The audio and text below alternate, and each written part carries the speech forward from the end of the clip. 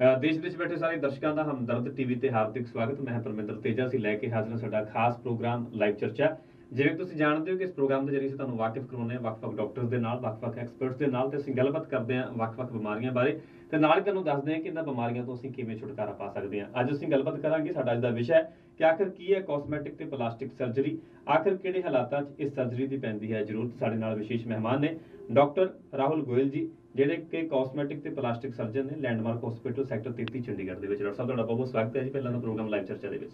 Thank you ਜੀ। ਨੂੰ ਸਵਾਲ ਕਰਨਾ ਚਾਹੁੰਦੇ ਹੋ, ਤਾਂ ਤੁਸੀਂ ਹੇਠਾਂ ਸਕਰੋਲ ਹੋ ਰਹੇ ਨੰਬਰਾਂ ਤੇ ਸੰਪਰਕ ਕਰ ਸਕਦੇ ਹੋ। ਨਾਲ ਹੀ ਤੁਹਾਡੀ ਜਾਣਕਾਰੀ ਵਾਸਤੇ ਦੱਸ ਦੇ ਕਿ ਇਸ ਵਿੱਚ ਤੁਸੀਂ ਲਾਈਵ ਚਰਚਾ ਪ੍ਰੋਗਰਾਮ ਹੈ ਜਿਹੜਾ ਸਾਡੀ ਵੈਬਸਾਈਟਸ dailyhumdard.com ਤੇ humdardtv.com ਤੇ ਵੇਖ ਸਕਦੇ ਹੋ। ਨਾਲ ਹੀ ਇਸ ਪ੍ਰੋਗਰਾਮ ਨੂੰ ਜਾਦੂ ਨੈਟਵਰਕ ਤੇ ਵੇਖਿਆ ਜਾ ਸਕਦਾ ਨਾਲ ਹੀ ਲਾਈਵ ਚਰਚਾ ਪ੍ਰੋਗਰਾਮ ਵੇਖਣ ਵਾਸਤੇ ਤੁਸੀਂ ਸਾਡੀ ਹਮਦਰਦ ਨਿਊਜ਼ ਨਾਮ ਦੀ ਐਪ ਵੀ ਡਾਊਨਲੋਡ ਕਰ ਸਕਦੇ ਹੋ। ਤੁਹਾਨੂੰ ਇੱਕ ਵਾਰ ਫਿਰ ਦੱਸ ਦਈਏ ਕਿ ਜੇਕਰ ਤੁਸੀਂ ਲਾਈਵ ਚਰਚਾ ਪ੍ਰੋਗਰਾਮ ਦੇ ਵਿੱਚ ਹਿੱਸਾ ਲੈ ਕੇ ਡਾਕਟਰ ਸਾਹਿਬ ਨੂੰ ਅੱਜ ਦੇ ਵਿਸ਼ੇ ਨਾਲ ਸੰਬੰਧਿਤ ਕੋਈ ਵੀ ਸਵਾਲ ਕਰਨਾ ਚਾਹੁੰਦੇ ਹੋ, ਤਾਂ ਤੁਸੀਂ ਹੇਠਾਂ ਫਲੈਸ਼ ਹੋ ਰਹੇ ਨੰਬਰਾਂ ਤੇ ਸੰਪਰਕ ਕਰ ਸਕਦੇ ਹੋ। ਡਾਕਟਰ ਸਾਹਿਬ ਇਹ ਟਰਮ ਦੀ ਅੱਜ ਅਸੀਂ ਗੱਲਬਾਤ ਕਰਨ ਜਾ ਰਹੇ ਹਾਂ। ਆਮ ਸਧਾਰਨ ਲੋਕਾਂ ਨੂੰ ਇਹਦੇ ਬਾਰੇ ਬਹੁਤ ਜਾਣਕਾਰੀ ਘੱਟ ਹੈ ਬੇਸਿਕਲੀ ਕਿ ਹੁੰਦੀ ਕੀ ਹੈ ਸਰਜਰੀ ਸਭ ਤੋਂ ਪਹਿਲਾਂ ਮੇਰਾ ਸਵਾਲ ਇਹੀ ਹੈ ਜੇਕਰ ਕਾਸਮੈਟਿਕ ਸਰਜਰੀ ਦੀ ਗੱਲ ਕੀਤੀ ਜਾਵੇ ਤਾਂ ਹੈ ਕੀ ਹੈ ਬੇਸਿਕਲੀ ਮੈਂ ਤੁਹਾਨੂੰ ਦੱਸਾਂ ਪਲਾਸਟਿਕ ਸਰਜਰੀ ਇੱਕ ਦਾ ਇੱਕ ਪਾਰਟ ਹੈ ਕਾਸਮੈਟਿਕ ਸਰਜਰੀ ਜੀ। ਪਲਾਸਟਿਕ ਸਰਜਰੀ ਦਾ ਬੇਸਿਕ ਮਤਲਬ ਹੁੰਦਾ to mould to. Mould something ਮਤਲਬ ਕਿਸੇ ਚੀਜ਼ ਨੂੰ ਆਪਣਾ ਸ਼ੇਪ ਦੇਣੀ ਆਪਾਂ- ਕਿਸੇ ਚੀਜ਼ ਨੂੰ ਆਕਾਰ ਦੇਣਾ। ਦੈਟ ਇਜ਼ ਟੂ ਮੋਲਡ ਜੀ। ਪਲਾਸਟਿਕ ਦਾ ਹੀ ਮਤਲਬ ਹੈ। ਹੁਣ ਪਲਾਸਟਿਕ ਸਰਜਰੀ ਦੇ ਕਈ ਕੰਪੋਨੈਂਟਸ ਨੇ ਤੇ ਉਹ ਚੋਂ ਇੱਕ ਕੰਪੋਨੈਂਟ ਜਿਹੜਾ ਹੈ ਉਹ ਕਾਸਮੈਟਿਕ ਸਰਜਰੀ ਉਹ cosmetic ਹੈ। ਜਿਵੇਂ ਬਾਕੀ ਕੰਪੋਨੈਂਟ ਬਰਨਸ ਹੈਗਾ ਟਰਾਮਾ ਹੈ ਤੇ ਆਪਣਾ ਰੀਕਨਸਟਰਕਟਿਵ ਸਰਜਰੀ ਹੈ। ਹਾਂਜੀ। ਕਾਸਮੈਟਿਕ ਸਰਜਰੀ ਇੱਕ ਮਤਲਬ ਇਹਦਾ ਹਿੱਸਾ ਹੈ ਇੱਕ ਪਾਰਟ ਹੈ ਇਹਦਾ। ਜਿਹੜਾ ਮਤਲਬ ਪਲਾਸਟਿਕ ਸਰਜਰੀ ਉਹਦਾ ਇੱਕ ਪਾਰਟ ਹੈ ਕਾਸਮੈਟਿਕ ਸਰਜਰੀ। ਕਾਸਮੈਟਿਕ ਸਰਜਰੀ ਚ ਕਈ ਸਾਰੀ ਚੀਜ਼ਾਂ ਆਉਂਦੀਆਂ ਮੈਂ ਸਾਰੀ ਚੀਜ਼ਾਂ ਤੁਹਾਨੂੰ ਇੱਕ ਇੱਕ ਕਰਕੇ ਐਕਸਪਲੇਨ ਕਰਕੇ ਦੱਸਦਾ ਕੀ ਕੀ ਹੁੰਦਾ ਜਿਵੇਂ ਫਰਸਟ ਜਿਹੜੇ ਪਾਰਟ ਹੈ ਕਾਸਮੈਟਿਕ ਸਰਜਰੀ ਦਾ ਉਹ ਹੁੰਦਾ hair transplant head transplant hair transplant ਦਾ ਕੀ ਮਤਲਬ ਹੈ? ਜਿਨ੍ਹਾਂ ਦੇ ਜਿਹੜੇ ਪੇਸ਼ੈਂਟ ਦੇ ਵਾਲ ਹੈ ਨਹੀਂ ਵਾਲ ਉੱਡ ਗਏ ਜਾਂ ਵਾਲ ਉੱਡ ਰਹੇ ਨੇ ਠੀਕ ਹੈ? ਉਹ ਪੇਸ਼ੈਂਟ ਕੈਂਡੀਡੇਟ ਹੁੰਦੇ ਨੇ ਹੇਅਰ ਟ੍ਰਾਂਸਪਲਾਂਟ ਵਾਸਤੇ। ਤਾਂ ਕਈ ਵਾਰ ਦੇਖ ਦੇਖਣ ਚ ਆਉਂਦਾ ਕਿ ਬਿਲਕੁਲ ਗੰਜਾਪਨ ਆ ਜਾਂਦਾ ਹੈ। ਤੇ ਉਹਦੇ ਵਿੱਚ ਡਾਕਟਰ ਸਾਹਿਬ ਕਿੰਨੀ ਕੁ ਪੋਸਿਬਿਲਿਟੀ ਹੁੰਦੀ ਹੈ ਦੁਬਾਰਾ ਵਾਲ ਉਗਣ ਦੀ? ਵਾਲ ਉਗਣ ਦੀ ਪੋਸਿਬਿਲਿਟੀ ਪੂਰੀ ਹੁੰਦੀ ਹੈ ਜੀ। ਬਸ਼ਰਤੇ ਇਹ ਹੈ ਕਿ ਪੇਸ਼ੈਂਟ ਕੋਲ ਵਾਲ ਹੋਣੇ ਚਾਹੀਦੇ ਨੇ ਹਮ। ਵਾਸਤੇ। ਜੇ ਪੇਸ਼ੈਂਟ ਕੋਲ ਵਾਲ ਹੈ ਹੀ ਨਹੀਂ ਉਹਦੇ ਪਿੱਛੇ ਡੋਨਰ ਹੀ ਆਪਾਂ ਜਿਹੜੇ ਵਾਲ ਆਪਾਂ ਹਾਂ ਉਹ ਪੇਸ਼ੈਂਟ ਦੀ ਬੈਕ ਸਾਈਡ ਤੋਂ ਲੈ ਕੇ ਹਾਂ ਜਿਹੜੇ ਸਕੈਲਪ ਹੁੰਦਾ ਇਹਦੀ ਬੈਕ ਸਾਈਡ ਤੋਂ ਲੈ ਕੇ ਹਾਂ ਵਾਲ ਅੱਛਾ ਜੀ। ਤੇ ਜਿਹੜੇ ਆਪਾਂ ਸਿਰਫ ਆਪਾਂ ਮਤਲਬ ਜਗ੍ਹਾ ਚੇਂਜ ਕਰਨੀ ਹੈ ਪਿੱਛੋਂ ਦੇ। ਵਾਲ ਆਪਾਂ ਅੱਗੇ ਕਰਕੇ ਲਾ ਦੇਣੇ ਨੇ। ਠੀਕ ਹੈ। ਜੇ ਤਾਂ ਪੇਸ਼ੈਂਟ ਦੇ ਪਿੱਛੇ ਵਾਲ ਠੀਕ ਨੇ ਉਹਨਾਂ ਦੀ ਕੁਆਲਿਟੀ ਠੀਕ ਹੈ ਤੇ ਉਹਨਾਂ ਦੀ ਕੁਆਂਟੀਟੀ ਠੀਕ ਹੈ। ਫਿਰ ਤਾਂ ਰਿਜ਼ਲਟਸ ਕੋਈ ਦਿੱਕਤ ਆਉਂਦੇ ਨਹੀਂ ਟਾਈਮ ਨਾਲ ਆਪਣੇ ਆ ਜਾਂਦੇ ਨੇ ਵਾਲ ਠੀਕ ਹੈ। ਬਟ ਇਹ ਜਿਹੜਾ ਪ੍ਰੋਸੈਸ ਹੈ ਇਹਨੂੰ ਪੂਰਾ ਬਾਲ ਆਉਣ ਚ ਕਰੀਬਨ 6 ਤੋਂ ਲੈ ਕੇ 9 ਮਹੀਨੇ ਤੱਕ ਲੱਗ ਜਾਂਦੇ ਨੇ। ਪੂਰੇ ਠੀਕ ਹੈ। ਬਾਲ ਆਉਣ ਤੇ ਹੂੰ ਜਦੋਂ ਆਪਾਂ ਸਰਜਰੀ ਕਰਦੇ ਹਾਂ ਉਸ ਤੋਂ ਬਾਅਦ ਹੂੰ ਜਿਨ੍ਹਾਂ ਪੇਸ਼ੈਂਟ 'ਚ ਬਾਲ ਹੈ ਨਹੀਂ ਪਿੱਛੇ ਹਮ। ਤਾਂ ਤੁਸੀਂ ਦੇਖਿਆ ਹੋਣਾ ਕਿ ਕਈ ਪੇਸ਼ੈਂਟਸ ਬਿਲਕੁਲ ਹੀ ਗੰਜੇ ਹੋ ਜਾਂਦੇ ਨੇ ਇੱਕ ਛੋਟੀ ਜਿਹੀ ਸਟ੍ਰਿਪ ਬਚਦੀ ਹੈ ਪਿੱਛੇ ਹੂੰ ਠੀਕ ਹੈ ਉਹਨਾਂ ਦੀ ਫਿਰ ਪੂਰੀ ਅਹ, ਆਪਾਂ ਕੁਆਂਟੀਟੀ ਆਪਾਂ ਮਤਲਬ ਪੂਰਾ ਏਰੀਆ ਆਪਾਂ ਇੱਕ ਵਾਰ ਚ ਕਵਰ ਨਹੀਂ ਹੋ ਸਕਦਾ ਹਮ। ਉਹ ਫਿਰ ਆਪਾਂ ਦੋ ਵਾਰ ਕਵਰ ਆਪਾਂ ਨੂੰ ਕਰਨਾ ਪੈਂਦਾ ਹੈ ਠੀਕ ਹੈ ਦੋ ਵਾਰ ਕਵਰ ਕਰੀਏ ਜਾਂ ਫਿਰ ਆਪਾਂ ਬਾਲ ਦਾੜੀ ਤੋਂ ਵੀ ਲੈ ਸਕਦੇ ਹਾਂ ਬਾਡੀ ਤੋਂ ਵੀ ਲੈ ਸਕਦੇ ਹਾਂ ਹੂੰ ਮਤਲਬ ਜਿਹੜਾ ਡੋਨਰ ਏਰੀਆ ਹੈ ਬਾਲ ਲੈਣ ਦਾ ਉਹਦਾ ਜਾਂ ਤਾਂ ਬੈਕ ਸਾਈਡ ਆਫ ਸਕੈਲਪ ਹੈ ਪਿੱਛੋਂ ਦੇ। ਹੂੰ। ਜਿਹੜਾ ਮਤਲਬ ਸਰ ਦੇ ਪਿੱਛੇ ਵਾਲਾ ਹਿੱਸਾ ਜਾਂ ਫਿਰ ਦਾੜੀ ਹੈ ਜਾਂ ਫਿਰ ਬਾਡੀ ਦਾ ਕੋਈ ਵੀ ਪਾਰਟ ਹੈ ਜਿੱਥੇ ਵੀ ਬਾਲ ਹੈਗੇ ਨੇ। ਠੀਕ ਹੈ। ਉੱਥੇ ਆਪਾਂ ਲੈ ਸਕਦੇ। ਹਾਂ। ਪਰ ਗੱਲ ਇਹ ਹੈ ਕਿ ਬਾਲਾਂ ਦਾ ਟੈਕਸਚਰ ਬਾਡੀ ਦੇ ਹਿਸਾਬ ਨਾਲ ਥੋੜਾ ਜਿਹਾ ਡਿਫਰੈਂਟ ਹੁੰਦਾ ਹੈ। ਜਿਵੇਂ ਬਾਡੀ ਦੇ ਬਾਲ ਥੋੜੇ ਹਲਕੇ ਹੁੰਦੇ ਨੇ। ਦਾੜੀ ਦੇ ਬਾਲ ਠੀਕ ਹੁੰਦੇ ਨੇ। ਫ਼ਰਕ ਹੁੰਦਾ। ਤੇ। ਜਿਸ ਤਰ੍ਹਾਂ ਦਾ ਟੈਕਸਚਰ ਹੈ ਉਹ ਟੈਕਸਚਰ ਸੇਮ ਰਹੇਗਾ। ਉੱਪਰ ਵੀ ਜਾ ਕੇ। ਹੂੰ। ਆਪਾਂ ਟ੍ਰਾਂਸਪਲਾਂਟ ਕਰਾਂਗੇ ਸਰ ਦੇ ਉੱਪਰ ਜਿਹੜਾ ਟੈਕਸਚਰ ਹੈ ਉਹ ਸੇਮ ਰਹੇਗਾ। ਉਹ same ਰਹੇਗਾ। ਹਾਂ। ਟੈਕਸਚਰ ਵੋਂਟ ਚੇਂਜ ਹੂੰ ਆਪਾਂ ਸਿਰਫ ਆਪਾਂ ਜਗ੍ਹਾ ਚੇਂਜ ਕਰਨੀ ਹੈ। ਠੀਕ ਹੈ? ਤੇ ਬੈਸਟ ਏਰੀਆ ਜਿਹੜਾ ਹੈਗਾ ਠੀਕ ਹੈ। Donor side is the back of the scalp ਹਮ। ਜਿਹੜਾ ਸਰ ਦੇ ਪਿੱਛੇ ਵਾਲਾ ਹਿੱਸਾ that is the best area ਜੇ ਪੇਸ਼ੈਂਟ ਦੇ ਵਾਲ ਹੈਗੇ ਨੇ। ਠੀਕ ਹੈ। ਜੇ ਵਾਲ ਨਹੀਂ ਹੈਗੇ ਤਾਂ ਫਿਰ second best area is the beard ਦਾੜੀ। ਉਸ ਤੋਂ ਬਾਅਦ ਚੈਸਟ ਫਿਰ ਬਾਡੀ ਠੀਕ ਹੈ। ਤੇ ਇਹਦਾ ਡਾਕਟਰ ਸਾਹਿਬ ਪ੍ਰੋਸੀਜਰ ਕੀ ਹੁੰਦਾ ਬੇਸਿਕਲੀ ਹੇਅਰ ਟ੍ਰਾਂਸਪਲਾਂਟ ਦਾ? ਜਾਂ ਕਿੰਨਾ ਕੁ ਟਾਈਮ ਚਾਹੀਦਾ ਪੇਸ਼ੈਂਟ ਦੇ ਕੋਲ ਜਾਂ ਪੇਸ਼ੈਂਟ ਨੇ ਤੁਹਾਡੇ ਕੋਲ ਆਵੇ ਤਾਂ ਉਹਨੂੰ ਕਿੰਨੇ ਕੁ ਸਮੇਂ ਦੀ ਜ਼ਰੂਰਤ ਹੁੰਦੀ ਹੈ? ਹਾਂ ਪੇਸ਼ੈਂਟ ਸਰਜਰੀ ਵਾਸਤੇ ਟੋਟਲ 1 ਦਿਨ ਦਾ ਟਾਈਮ ਚਾਹੀਦਾ ਠੀਕ ਹੈ। ਪੇਸ਼ੈਂਟ ਸਵੇਰੇ ਆਉਂਦਾ ਹੈ ਹਸਪੀਟਲ 'ਚ। ਉਸ ਤੋਂ ਪਹਿਲਾਂ ਆਪਾਂ ਟੈਸਟ ਕਰ ਲਿਖਦੇ ਨੇ ਜੋ ਵੀ ਆਪਣੇ ਰੂਟੀਨ ਦੇ ਬਲੱਡ ਟੈਸਟ ਹੁੰਦੇ ਨੇ ਹੈ। ਕੋਈ ਪੇਸ਼ੈਂਟ ਨੂੰ ਸ਼ੂਗਰ ਹੈ ਕੋਈ ਬੀਪੀ ਹੈ ਜਾਂ ਕੋਈ ਹੋਰ ਕੋਈ ਵੀ ਪੇਸ਼ੈਂਟ ਦਵਾਈ ਲੈਂਦਾ ਕਿਸ ਤਰ੍ਹਾਂ। ਉਹ ਸਾਰੀ ਇੱਕ ਵਾਰੀ ਪਹਿਲਾਂ ਪੁੱਛ ਕੇ ਜਿਸ ਦਿਨ ਸਰਜਰੀ ਹੁੰਦੀ ਹੈ ਪੇਸ਼ੈਂਟ ਆਉਂਦਾ ਸਵੇਰੇ। ਇਹ ਪੇਸ਼ੈਂਟ ਨੂੰ ਖਾਲੀ ਪੇਟ ਖਾਲੀ ਪੇਟ ਆਉਣ ਦੀ ਲੋੜ ਨਹੀਂ। ਪੇਸ਼ੈਂਟ ਆਪਦਾ ਆਰਾਮ ਨਾਲ ਬ੍ਰੇਕਫਾਸਟ ਕਰਕੇ ਆ ਸਕਦੇ ਨੇ। ਕੋਈ ਦਿੱਕਤ ਵਾਲੀ ਗੱਲ ਨਹੀਂ ਹੈ। ਜੀ ਜੀ। ਤੇ ਇਹ ਡਾਕਟਰ ਸਾਹਿਬ ਅਸੀਂ ਗੱਲਬਾਤ ਜਾਰੀ ਰੱਖਾਂਗੇ। ਸਾਡੇ ਨਾਲ ਇੱਕ ਦਰਸ਼ਕ ਜੁੜ ਚੁੱਕੇ ਨੇ ਉਹਨਾਂ ਨਾਲ ਗੱਲਬਾਤ ਕਰ ਲੈਂਦੇ ਹਾਂ। ਹਾਂਜੀ ਬਹੁਤ ਬਹੁਤ ਸਵਾਗਤ ਹੈ ਜੀ ਪ੍ਰੋਗਰਾਮ ਲਾਈਵ ਚਰਚਾ ਦੇ ਵਿੱਚ। ਆਪਣਾ ਨਾਮ ਦੱਸ ਦਿਓ ਕਿਹੜੀ ਜਗ੍ਹਾ ਤੋਂ ਗੱਲ ਕਰ ਰਹੇ ਹੋ?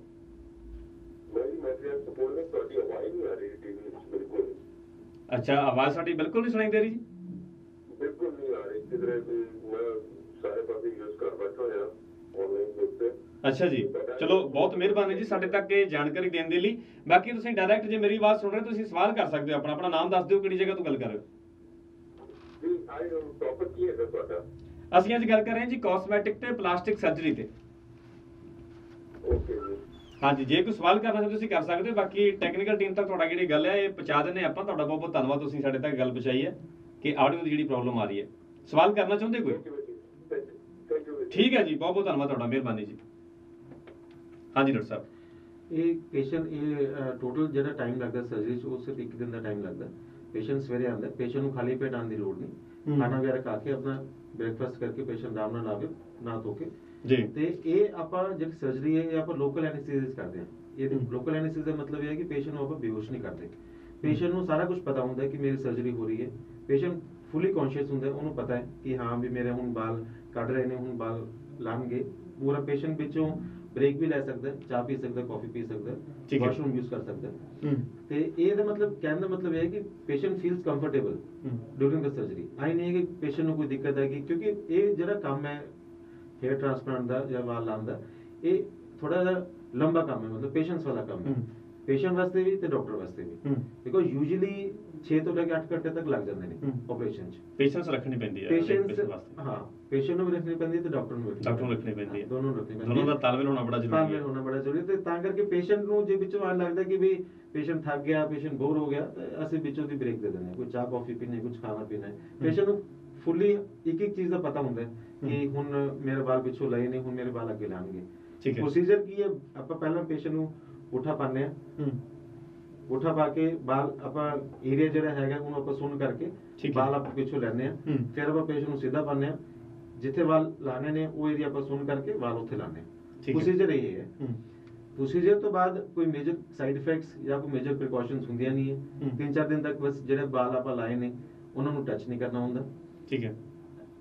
ਨਾਲ ਜਿਹੜੀਆਂ ਆਪਣਾ ਨਾਰਮਲ ਐਂਟੀਬਾਇਓਟਿਕਸ ਤੇ ਐਨਰਜੈਸਿਕਸ ਹੁੰਦੀਆਂ ਉਹ ਆਪਾਂ ਦਿੰਦੇ ਚਾਰ ਪੰਜ ਦਿਨ ਵਾਸਤੇ। ਹੈਡ ਬਾਥ ਵਗੈਰਾ ਲੈਣਾ ਵੀ ਜਿਹੜਾ ਮਨਾ ਹੈਡ ਹੁੰਦਾ। ਵਾਸ਼ ਹੁੰਦਾ ਹੈ ਉਹ ਆਪਾਂ ਸੈਕੰਡ ਡੇ ਸਟਾਰਟ ਕਰ ਦਿੰਦੇ ਨਹੀਂ ਹੈਡ ਬਾਥ ਜਿਹੜਾ ਉਹ ਵੀ ਮਨਾ ਮਨਾਈ ਹੁੰਦੀ ਦੇ ਵਿੱਚ ਨਹੀਂ ਹੈਡ ਬਾਥ ਸਿਰ। ਨਹੀਂ ਹੈਡ ਬਾਥ ਦੀ ਕੋਈ ਮਨਾਈ ਨਹੀਂ। ਹੈਡ ਵਾਸ਼ ਅਸੀਂ ਦੱਸਦੇ ਹਾਂ ਜਿਵੇਂ ਆਪਾਂ ਅੱਜ ਸਰਜਰੀ ਕੀਤੀ ਹੈ ਹੂੰ। ਤਾਂ ਪਰਸੋਂ ਆਪਾਂ ਪੇਸ਼ੈਂਟ ਨੂੰ ਹੈਡ ਵਾਸ਼ ਦੇ ਦਿੰਦੇ ਹਾਂ। ਉਹ ਮਤਲਬ ਹੈਡ ਵਾਸ਼ ਕਿਵੇਂ ਦੇਣਾ ਹੈ, ਉਹ ਅਸੀਂ ਸਾਰਾ ਪੇਸ਼ੈਂਟ ਨੂੰ ਐਕਸਪਲੇਨ ਕਰਦੇ ਹਾਂ ਕਿ ਇੱਕ ਚੀਜ਼ ਠੀਕ ਹੈ। ਕਿਸ ਤਰ੍ਹਾਂ ਕਰਨਾ ਹੈ, ਕਿਉਂਕਿ ਇਹ ਵਾਲ ਲਾਏ ਨੇ ਇਹਨੂੰ ਆਪਾਂ ਕਿਸੇ ਚੀਜ਼ ਨਾਲ ਮਲਣਾ ਨਹੀਂ ਹੈ। ਹੂੰ। ਠੀਕ ਹੈ ਨਾ?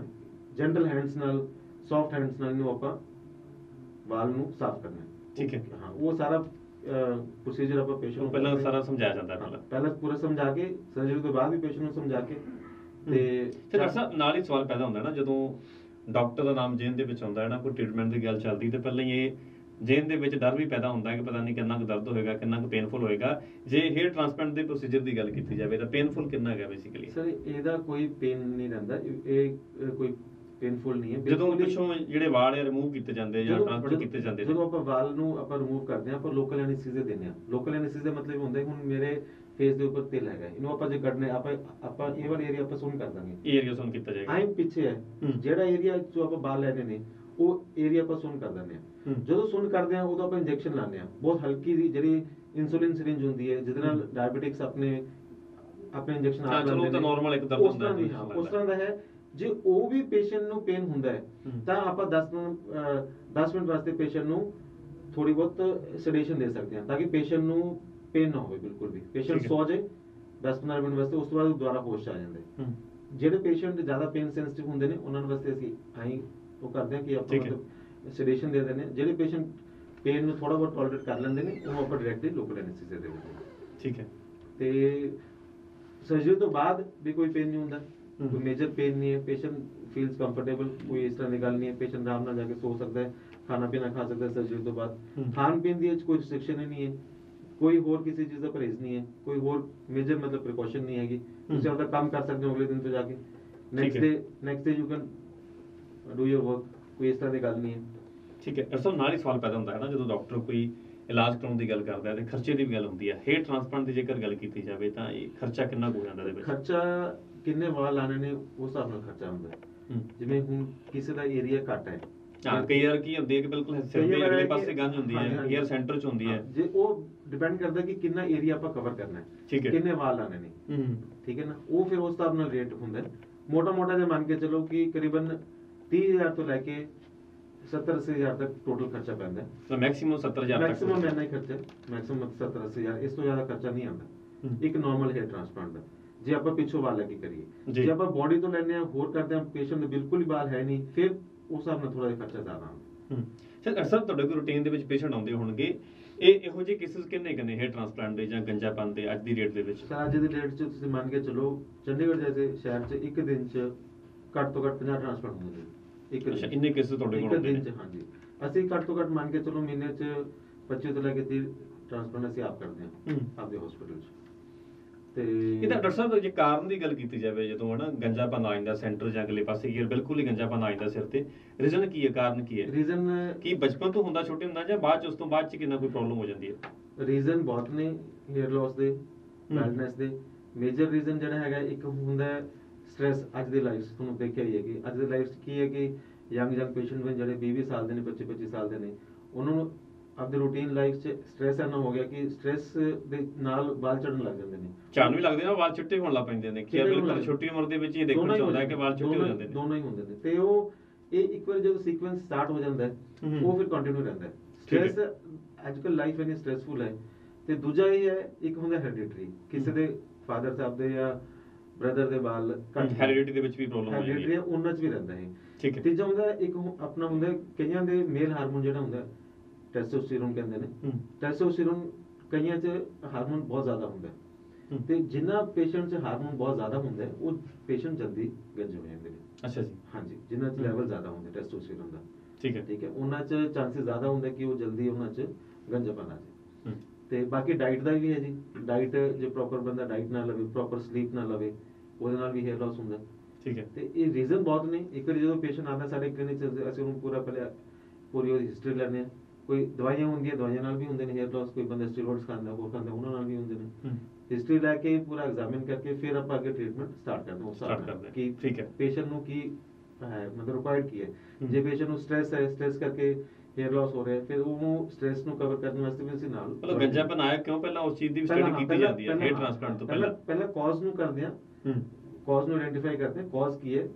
ਬੈਲੈਂਸ ਦਾ। ਉਸ ਤੋਂ ਬਾਅਦ ਹੇਅਰ ਟ੍ਰਾਂਸਪਲਾਂਟ ਸਟਾਰਟ ਕਰਦੇ ਹਾਂ। ਜੀ। ਤੇ ਡਾਕਟਰ ਸਾਹਿਬ ਅਸੀਂ ਡਿਟੇਲ ਚ ਗੱਲ ਕੀਤੀ ਸੀ ਕਾਸਮੈਟਿਕ ਸਰਜਰੀ ਦੀ ਗੱਲ ਕਰ ਰਹੇ ਹਾਂ। ਕਿਹੜੀ ਬ੍ਰਾਂਚ ਹੈ ਹੇਅਰ ਟ੍ਰਾਂਸਪਲਾਂਟ ਉਹਦੇ ਬਾਰੇ ਵੀ ਗੱਲ ਕੀਤੀ। ਹੋਰ ਕਾਸਮੈਟਿਕ ਸਰਜਰੀ ਦੇ ਵਿੱਚ ਕੀ ਕੀ ਆਂਦਾ ਹੈ? ਸਰ ਕਾਸਮੈਟਿਕ ਸਰਜਰੀ ਚ ਹੋਰ ਦੂਜਾ ਜਿਹੜਾ ਮੇਨ ਟੌਪਿਕ ਹੈ ਲਾਈਪੋਸੈਕਸ਼ਨ ਹੁੰਦਾ ਹੈ। ਲਾਈਪੋਸੈਕਸ਼ਨ ਹਾਂਜੀ ਇਹ ਕੀ ਹੈ ਬੇਸਿਕਲੀ ਲਾਈਪੋਸੈਕਸ਼ਨ ਦਾ ਮਤਲਬ ਇਹ ਹੈ ਕਿ ਚਰਬੀ ਨੂੰ ਘਟਾਉਣਾ। ਹੂੰ।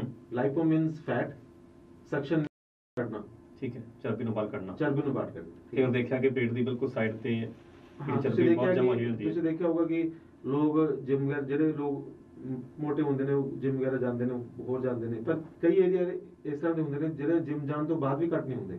ਜਿਵੇਂ ਸੈਟਲ ਬੈਗਸ ਹੋ ਗਏ। ਠੀਕ ਹੈ ਜਾਂ ਮੇਲ ਬ੍ਰੈਸਟ ਹੋ ਗਏ। ਸਾਈਡਾਂ ਤੋਂ ਬਿਲਕੁਲ ਮਾਸ ਦਾ ਹੋ ਹੁੰਦਾ। ਥਾਈਜ਼ ਹੋ ਗਿਆ। ਫੀਮੇਲ ਚ ਬਟਕਸ ਹੋ ਗਏ। ਥਾਈਜ਼ ਹੋ ਗਿਆ ਮੇਲ ਚ ਪੇਟ ਹੋ ਗਿਆ। ਇਹ। ਚੀਜ਼ਾਂ ਘੱਟ ਹੁੰਦੀਆਂ ਨਹੀਂ। ਚਾਹੇ। ਤੁਸੀਂ ਜਿੰਨਾ ਮਰਜ਼ੀ ਕੋਸ਼ਿਸ਼ ਕਰ ਲਓ। ਹਾਂਜੀ। ਇਹ ਚੀਜ਼ਾਂ ਵਾਸਤੇ ਲਾਈਪੋਸੈਕਸ਼ਨ ਹੁੰਦੀ ਹੈ। ਠੀਕ ਹੈ। ਲਾਈਪੋਸੈਕਸ਼ਨ ਚ ਆਪਾਂ ਕੀ ਕਰਦੇ ਆ ਕੈਨੂਲਾ ਪਾ ਕੇ ਹੂੰ। 0.5 ਮਿਲੀਮੀਟਰ ਦਾ ਇੱਕ ਕੱਟ ਲਗਾ ਕੇ ਉਹਦੇ ਵਿੱਚੋਂ ਕੈਨੂਲਾ ਪਾ ਕੇ ਫੈਟ ਨੂੰ ਆਪਾਂ ਸਕ ਕਰ ਲੈਂਦੇ ਹਾਂ। ਜਿਹੜੀ ਏਰੀਆ ਚ ਆਪਾਂ ਨੂੰ ਫੈਟ ਨੂੰ ਸਕ ਕਰਨਾ ਜਿਹੜੇ ਏਰੀਆ ਚ ਆਪਾਂ ਨੂੰ ਫੈਟ ਨੂੰ ਕੱਢਣਾ ਹੈ। ਜਿਵੇਂ ਲਾਈਪੋਸੈਕਸ਼ਨ ਬਾਡੀ ਦੇ ਕਿਸੇ ਵੀ ਹਿੱਸੇ ਸਾਹਿਬ ਇਹਦਾ ਕੀ ਪ੍ਰੋਪਰ ਆਪਰੇਸ਼ਨ ਹੁੰਦਾ ਹੈ? ਮੈਨੂੰ ਸਰਜਰੀ ਹੁੰਦੀ ਹੈ। ਸਰਜਰੀ ਹੈ। ਠੀਕ ਹੈ। ਸਰਜਰੀ ਇਹ ਜੇ ਤਾਂ ਛੋਟਾ ਏਰੀਆ ਹੈ ਫਿਰ ਤਾਂ ਆਪਾਂ ਲੋਕਲ ਐਨੈਸਥੀਸੀਆ ਦੇ ਕੇ ਕਰ ਦਿੰਦੇ ਹਾਂ। ਜੇ ਬੜਾ ਏਰੀਆ ਹੈ ਫਿਰ ਆਪਾਂ ਬੇਹੋਸ਼ ਕਰਕੇ ਕਰਦੇ ਹਾਂ ਪੇਸ਼ੈਂਟ ਨੂੰ।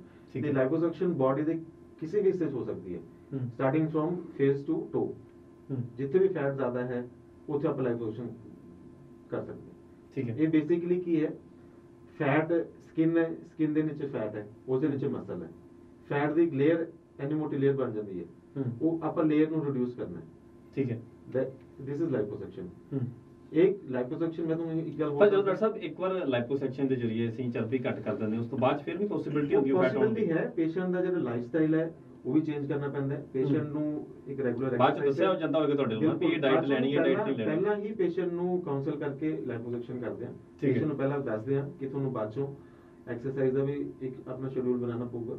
ਤੇ ਡਾਈਟ ਦਾ ਵੀ ਥੋੜੇ ਬਹੁਤ ਮੋਡੀਫਿਕੇਸ਼ਨ ਕਰਨੀ ਪੈਣਗੀ। ਦੇਖੋ ਚਰਬੀ ਤਾਂ ਹੀ ਕਰਕੇ ਵਧੀਆ ਜੇ ਪੇਸ਼ੈਂਟ ਦਾ ਲਾਈਫਸਟਾਈਲ ਠੀਕ ਨਹੀਂ ਹੈ। ਡੈਫੀਨਿਟਲੀ ਜੇ ਲਾਈਫਸਟਾਈਲ ਹੀ ਠੀਕ ਹੋਊਗਾ ਫਿਰ ਕਿਉਂ ਆਊਗੀ ਚਰਬੀ ਮੈਂ ਕਿਸ ਤਰ੍ਹਾਂ ਦਾ ਲਾਈਫਸਟਾਈਲ ਜਿਹੜਾ ਉਹ ਜੋ ਇਹੋ ਜਿਹਾ ਹੋਵੇ ਤੇ ਇਹ ਚਰਬੀ ਜਿਹੜੀ ਵੱਧਦੀ ਹੈ Lifestyle ਕਿਉਂਕਿ ਅੱਜ ਦੀ ਡੇਟ ਦੇ ਵਿੱਚ ਸਾਡਾ ਖਾਣਾ ਪੀਣਾ ਵੀ ਪਹਿਲਾਂ ਨਾਲੋਂ ਬਹੁਤ ਚੇਂਜ ਹੋ ਗਿਆ ਬਦਲ ਗਿਆ ਜੰਕ ਫੂਡ ਜਿਹੜਾ ਖਾਂਦੇ ਨੇ ਹੂੰ। ਸੈਡੈਂਟਰੀ ਲਾਈਫਸਟਾਈਲ ਹੈ ਅਹ ਰਾਤ ਨੂੰ ਖਾਣਾ ਖਾਇਆ ਪੈ ਗਏ ਠੀਕ ਹੈ। ਠੀਕ ਹੈ ਜੀ ਕੋਈ ਐਕਸਰਸਾਈਜ਼ ਨਹੀਂ ਹੈ ਕੋਈ ਹੋਰ ਨਹੀਂ ਹੈ ਉਹਨਾਂ 'ਚ ਪੇਸ਼ੈਂਟਸ ਉਹ ਕੈਂਡੀਡੇਟ ਹੁੰਦੇ ਨੇ ਉਹਨਾਂ ਨੂੰ ਪਹਿਲਾਂ ਅਸੀਂ ਕਾਉਂਸਲ ਕਰਦੇ ਹਾਂ ਕਿ ਤੁਹਾਨੂੰ ਪਹਿਲਾਂ ਤਾਂ weight ਮੇਨਟੇਨ ਕਰਨਾ ਪਊਗਾ ਜੇ ਪੇਸ਼ੈਂਟ ਦਾ ਕਿਸੇ ਦਾ weight ਵੱਧ ਰਿਹਾ ਹੈ, ਹੁਣ ਹੂੰ। ਸਪੋਜ਼ ਜਿਵੇਂ 60 ਕਿਲੋ weight ਹੈ ਠੀਕ ਹੈ ਉਹਦਾ weight ਇੰਕਰੀਜ਼ ਕਰ ਰਿਹਾ ਹੈ। ਉਹਦੀ ਜੀ। that is not a candidate for the liposuction ਉਹ 'ਚ ਆਪਾਂ liposuction ਨਹੀਂ ਕਰ ਸਕਦੇ ਬਿਕੋਜ਼ ਪੇਸ਼ੈਂਟ ਦੀ ਮਤਲਬ ਟੈਂਡੈਂਸੀ ਹੈ weight ਨੂੰ ਗੇਨ ਕਰਨ ਦੀ।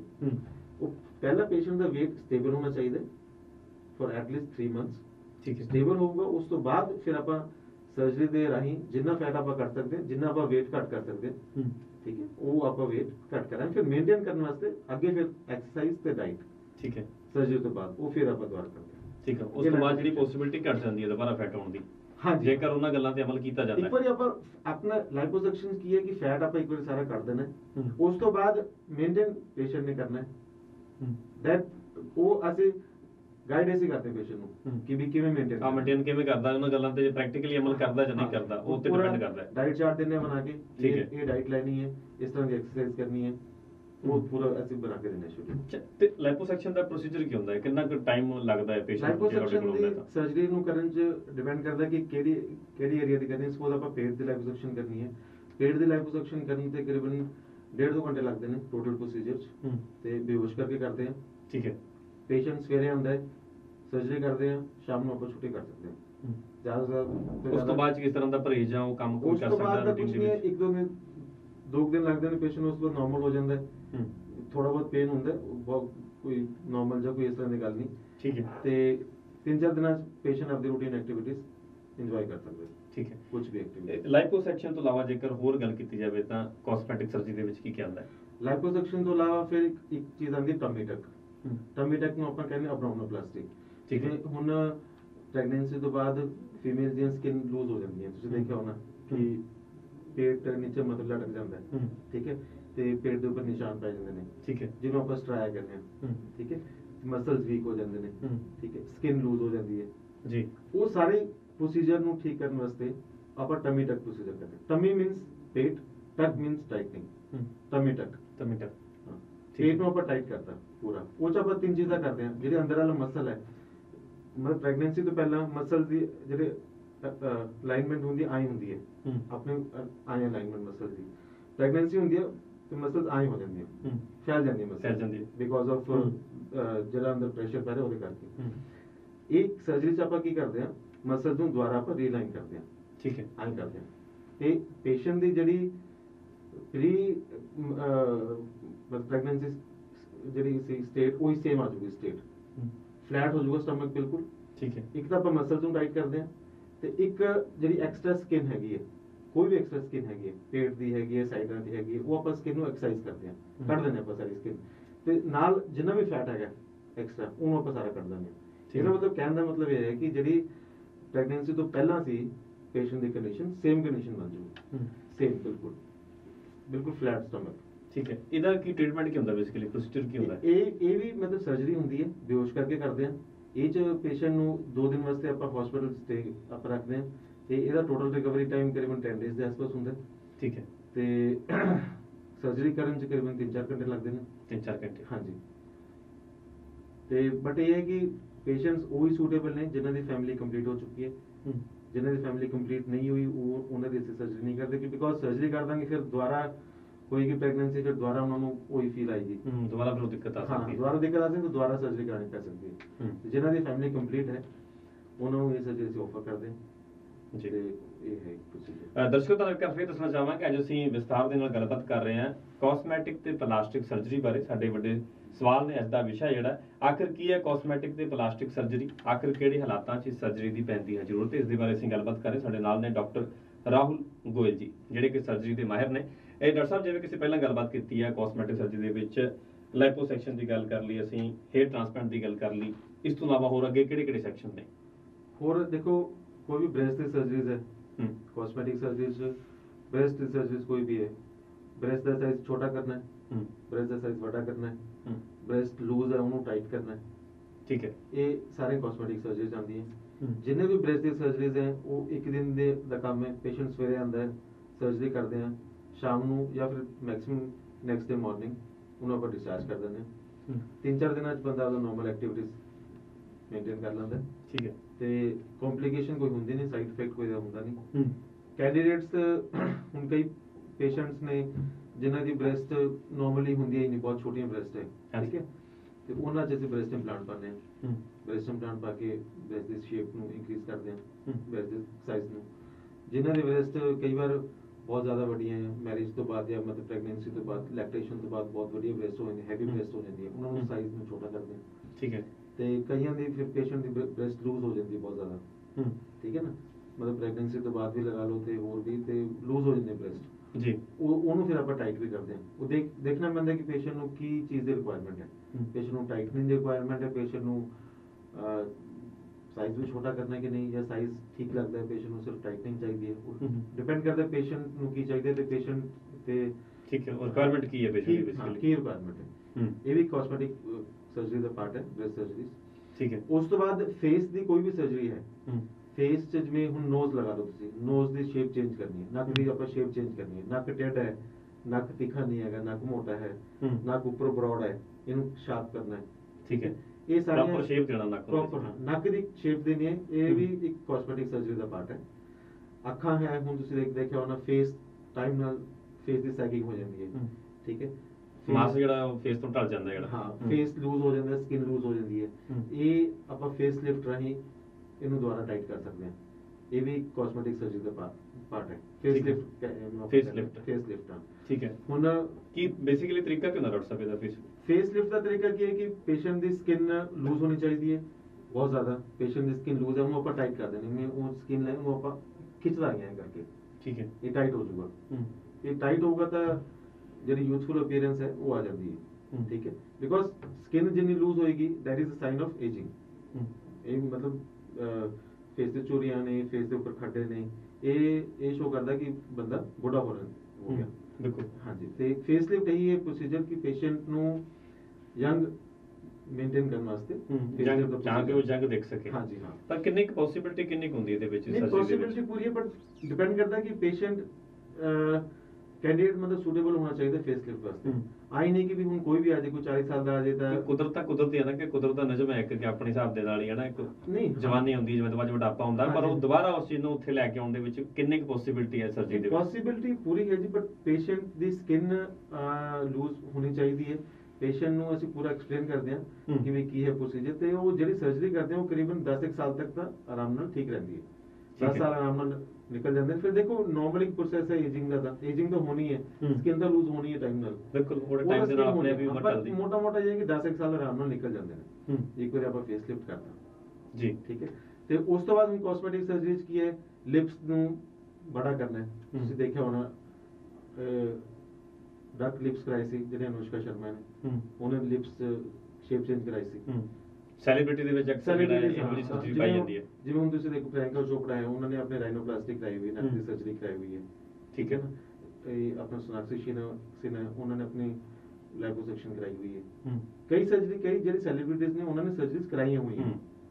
ਤਾਂ ਕਿ ਜ਼ਿਆਦਾ ਉਮਰ ਤੱਕ ਵੀ ਆਪਣੇ ਆਪ ਨੂੰ ਕਿਵੇਂ ਮੇਨਟੇਨ ਰੱਖਣਾ। ਹੈ ਮੇਨਟੇਨ ਰੱਖੋ ਤੇ ਥੋੜਾ ਬਹੁਤ ਦੇਖੋ ਆਈ ਨਹੀਂ ਹੈ ਜਿਹੜੀ ਚੀਜ਼ ਰੱਬ ਨੇ ਦਿੱਤੀ ਉਹ ਚੀਜ਼ ਨਾਰਮਲ ਹੈ ਬਟ ਜਿਹੜੀ ਚੀਜ਼ ਠੀਕ ਨਹੀਂ ਲੱਗਦੀ।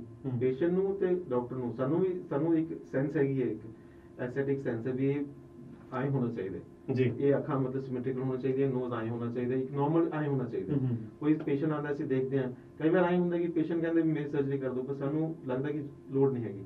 ਉਹ ਸਰਜਰੀ ਨਹੀਂ ਕਰਦੇ ਠੀਕ ਹੈ ਦੋਨੋਂ ਚੀਜ਼ਾਂ ਮਤਲਬ ਪੇਸ਼ੈਂਟ ਵੀ ਹੋਣਾ ਚਾਹੀਦਾ ਕੰਫਰਟੇਬਲ ਤੇ ਜਿਹੜਾ ਡਾਕਟਰ ਹੈ ਉਹ ਵੀ ਕੰਫਰਟੇਬਲ ਹੋਣਾ ਚਾਹੀਦਾ ਵੀ ਹਾਂ ਸਰਜਰੀ ਕਰਾਂਗੇ। ਬਾਕੀ ਜ਼ਰੂਰਤ ਹੈਗੀ ਹੈ ਬਾਕੀ ਜ਼ਰੂਰਤ ਹੈ ਹੀ ਨਹੀਂ ਤੇ ਸਰਜਰੀ ਕਰਾਂਗੇ ਤਾਂ ਇਹ 'ਚ ਮਤਲਬ ਰਿਜ਼ਲਟ ਆਊਗਾ ਜਾਂ ਇੰਪਰੂਵਮੈਂਟ ਹੋਏਗੀ। ਇੰਪਰੂਵਮੈਂਟ ਹੋਵੇਗੀ ਜਦ। ਹਾਂਜੀ, ਹਾਂ। ਠੀਕ ਹੈ ਜੀ। ਲਿਪਸ ਦੀ ਮੈਂ ਤੁਹਾਨੂੰ ਦੱਸਦਾ ਨੋਜ਼ ਦੀ ਦੱਸਦੀ। ਅੱਖਾਂ 'ਚ ਹੁਣ ਜਿਵੇਂ ਟਾਈਮ ਨਾਲ ਇਹ ਉਰੋ ਲੂਜ਼ ਹੋ ਜਾਂਦੀ ਹੈ ਸਾਡੀ। ਸਕਿਨ ਲੂਜ਼ ਹੋ ਜਾਂਦੀ ਹੈ ਉਰੇ ਦੀ ਅੱਖਾਂ ਦੀ ਸਾਰੀ ਨਾ। ਹਾਂਜੀ। ਇਹਨੂੰ ਆਪਾਂ ਸੈਗੀ ਆਈਲਿਡਸ ਕਹਿੰਦੇ ਆ ਠੀਕ ਹੈ। ਇਹ ਫਿਰ ਸਰਜਰੀ ਹੁੰਦੀ ਹੈ ਇਹਨੂੰ ਟਾਈਟ ਕਰਨ ਦੀ। ਇਹ ਜਿਹੜਾ। ਇਹਦਾ ਜਿਹੜਾ ਫੈਟ ਹੁੰਦਾ ਇਹਨੂੰ ਆਪਾਂ ਕੱਢ ਕੇ ਇਹਨੂੰ ਸਕਿਨ ਨੂੰ ਟਾਈਟ ਕਰਦੇ ਆ। ਆਈ ਲੋਅਰ ਆਈਲਿਡ ਹੁੰਦੀ ਹੈ ਆਈ ਅਪਰ ਆਈਲਿਡ ਹੁੰਦੀ ਹੂੰ। ਠੀਕ ਹੈ। ਹੁਣ ਕੰਨ ਦੀ ਕੋਈ ਸ਼ੇਪ ਹੈ ਕੰਨ ਕਈਆਂ ਦੇ ਬਾਹਰ ਹੁੰਦੇ ਨੇ ਉਹਨੂੰ ਆਪਾਂ ਅੰਦਰ ਕਰਨੇ ਨੇ ਹਾਂ, ਕੰਨਾਂ ਦਾ size ਹੀ ਵੱਡਾ ਹੁੰਦਾ ਆਉਂਦਾ, ਹਾਂਜੀ। ਸਾਈਜ਼ ਵੱਡਾ ਹੁੰਦਾ ਹੈ ਜਾਂ। ਬਾਕਸਰ ਈਅਰ ਹੁੰਦੇ ਨੇ ਮੋਟੇ ਹੁੰਦੇ ਨੇ ਕੰਨ। ਹਾਂਜੀ। ਠੀਕ ਹੈ। ਡਾਕਟਰ ਸਾਹਿਬ ਜਿਹੜੀ ਫੇਸ ਦੀ ਸਰਜਰੀ ਦੀ ਗੱਲ ਕਰ ਰਹੇ ਆਪਾਂ ਜਦੋਂ ਸਰਜਰੀ ਫੇਸ ਦੀ ਹੁੰਦੀ ਹੈ ਚਾਹੇ ਨੱਕ ਦੀ ਚਾਹੇ ਲਿਪਸ ਦੀ ਹੁੰਦੀ ਹੈ ਚਾਹੇ ਸਾਈਡ ਦੀ ਹੁੰਦੀ ਹੈ ਉਸ ਤੋਂ ਬਾਅਦ ਚ ਕੋਈ ਸਾਈਡ ਇਫੈਕਟ ਜਾਂ ਕਿਸੇ ਤਰ੍ਹਾਂ ਦਾ ਦਾਗ ਤਾਂ ਰਹਿ ਜਾਂਦਾ ਫੇਸ ਤੇ? ਨਹੀਂ ਜੋ ਵੀ ਸਰਜਰੀ ਹੈ ਉਹ ਜਿਵੇਂ ਆਪਾਂ ਨੱਕ ਦੀ ਸਰਜਰੀ ਹੈ। ਇਨਸੀਜ਼ਨ ਦਾ ਮਾਰਕ ਨਹੀਂ ਆਉਂਦਾ ਕੋਈ ਵੀ। ਇਨਸੀਜ਼ਨ ਨਿਸ਼ਾਨ ਨਹੀਂ ਆਉਂਦਾ ਕਿਤੇ ਵੀ।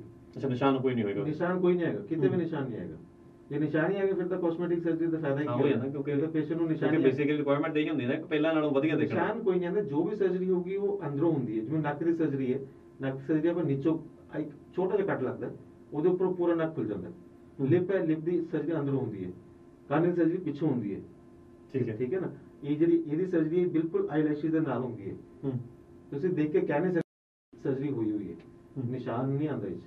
ਉਸ ਤੋਂ ਬਾਅਦ ਬਿਲਕੁਲ ਜਜਮੈਂਟ ਨਹੀਂ ਕੀਤੀ ਜਾ ਸਕਦੀ ਨਾ ਤੇ ਉਸ ਤੋਂ ਬਾਅਦ ਹੁਣ ਦੇਖੋ ਕਾਸਮੈਟਿਕ ਸਰਜਰੀ ਦਾ ਮੈਂ ਮੈਂ ਤੁਹਾਨੂੰ ਦੱਸਿਆ ਹੋਰ ਹੈ ਨਾ ਸਾਰਾ ਹੂੰ। ਫੇਸ ਦੀ ਕਾਸਮੈਟਿਕ ਸਰਜਰੀ ਹੁਣ ਬਾਡੀ ਦੀ ਵੀ ਕਾਸਮੈਟਿਕ ਸਰਜਰੀ ਹੈ ਬਾਡੀ ਦੀ ਕਾਸਮੈਟਿਕ ਸਰਜਰੀ ਚ ਬ੍ਰੈਸਟ ਦਾ ਮੈਂ ਤੁਹਾਨੂੰ ਦੱਸਦਾ ਲਾਈਪੋਸਕਸ਼ਨ ਦੱਸਦਾ ਟਮੀ ਹਾਂਜੀ। ਤੱਕ ਦੱਸਦਾ ਠੀਕ ਹੈ ਹਾਂਜੀ। ਬਾਡੀ ਲਿਫਟ ਹੁੰਦਾ ਹੁਣ ਬਾਡੀ ਲਿਫਟ ਤੁਸੀਂ ਦੇਖਿਆ ਹੋਣਾ ਕਈਆਂ ਪੇਸ਼ੈਂਟ ਦੀ ਲੇਡੀਜ਼ ਦੀ ਆਰਮਸ ਚ ਸਕਿਨ ਉਰੇ ਬਹੁਤ ਜ਼ਿਆਦਾ ਲੂਜ਼ ਹੁੰਦੀ ਹੈ ਹੂੰ। ਆਏ ਆਰਮ ਸਕਿਨ ਮਤਲਬ ਲਟਕੀ ਹੁੰਦੀ ਹੈ ਹੂੰ ਉਹਨੂੰ ਆਪਾਂ ਆਰਮ ਲਿਫਟ Arm lift। ਹਾਂ ਆਰਮ ਲਿਫਟ ਸਰਜਰੀ ਹੁੰਦੀ ਹੈ ਉਹ। ਠੀਕ ਉਹ ਹੈ। ਜਿੰਨਾ ਵੀ ਸਕਿਨ ਹੈ ਐਕਸਟਰਾ ਤੇ ਜਿੰਨਾ ਵੀ ਫੈਟ ਹੈ ਉਹਨੂੰ ਕੱਢ ਕੇ ਹੂੰ ਉਹ ਉਹ ਆਪਾਂ ਪ੍ਰੋਪਰਲੀ ਰਿਪੇਅਰ ਕਰਦੇ ਹਾਂ। ਉਹਨੂੰ। ਆਰਮ ਲਿਫਟ ਹੈ। ਆਈ ਫਿਰ ਬਾਡੀ ਲਿਫਟ ਹੈ। ਥਾਈ ਲਿਫਟ ਹੋ ਗਿਆ। ਥਾਈ ਕਈਆਂ ਦੇ ਲੂਜ਼ ਹੈ ਥਾਈ ਲਿਫਟ ਕਰਨੀ ਹੈ। ਬਟਕ ਲਿਫਟ ਹੈ ਬਟਕ ਕਰਨੇ ਨੇ। ਬਟਕ ਕਈਆਂ ਦੇ ਛੋਟੇ ਨੇ ਬਟਸ ਬਟਕ ਚ ਇੰਪਲਾਂਟ ਪਾਣੇ ਨੇ ਬਟਕ ਦਾ ਸਾਈਜ਼ ਵੱਡਾ ਕਰਨਾ ਹੈ। ਉਹ ਵੀ ਆਪਾਂ ਪਾ ਸਕਦੇ ਹਾਂ। ਜਾਂ ਫਿਰ ਆਪਾਂ ਫੈਟ ਗ੍ਰਾਫਟਿੰਗ ਕਰ ਸਕਦੇ ਹਾਂ। ਕਿਤੇ ਹੋਰ ਪਾਰਟ ਚੋਂ ਫੈਟ ਲੈ ਕੇ ਬਟਕ ਚ ਆਪਾਂ ਪਾ ਸਕਦੇ ਹੂੰ। ਇਹ ਮਤਲਬ ਆਪਣੇ ਪੂਰੀ ਬਾਡੀ ਚ ਆਪਾਂ ਸਰਜਰੀ ਕਰ ਆਪਣੇ ਚ ਸਕਦੇ ਬਹੁਤ ਵਾਸਟ ਜਿਹੜਾ ਸਬਜੈਕਟ ਕਿਹਾ ਜਾ ਸਕਦਾ ਹੈ ਹਾਂ, ਸਰਜਰੀ ਇਹ ਤਾਂ ਹੀ ਨਹੀਂ ਹੈਗਾ ਕਿ ਹਾਂ ਇਹ ਚੀਜ਼ ਪੋਸੀਬਲ ਹੈ ਇਹ ਚੀਜ਼ ਨਹੀਂ ਹੈ। ਹੂੰ। ਕਿਤੇ ਵੀ ਕੋਈ ਵੀ ਜਿਵੇਂ ਹੱਥ ਕਿਸੇ ਦੇ ਪਤਲੇ ਨੇ ਆਪਾਂ ਹੱਥ ਨੂੰ ਮੋਟਾ ਕਰ ਸਕਦੇ ਹਾਂ। ਮੋਟਾ ਹੈ ਤਾਂ ਉਹਨੂੰ ਆਪਾਂ ਪਤਲਾ ਕਰ ਸਕਦੇ ਹਾਂ। ਦੋਨੋਂ ਚੀਜ਼ਾਂ ਪੋਸੀਬਲ ਹੈ ਪੂਰੀ ਬਾਡੀ 'ਚ ਹੀ। ਠੀਕ ਹੈ। ਕਹਿਣ ਦਾ ਮਤਲਬ ਇਹ ਹੈ। ਡਿਪੈਂਡ ਕਰਦਾ ਪੇਸ਼ੈਂਟ ਦੀ ਰਿਕੁਆਇਰਮੈਂਟ ਰਿਕੁਆਇਰਮੈਂਟ ਕੀ ਹੈ। ਹਾਂ ਰਿਕੁਆਇਰਮੈਂਟ ਕੀ ਹੈ ਤੇ ਪੇਸ਼ੈਂਟ ਉਹ ਉਹ ਜਿਹੜੀ ਪ੍ਰੋਬਲਮ ਹੈ ਉਹਦੇ ਨਾਲ ਕਿੰਨਾ ਡਿਸਟਰਬਡ ਹੈ। ਹੂੰ। ਗੱਲ ਇਹ ਹੈ।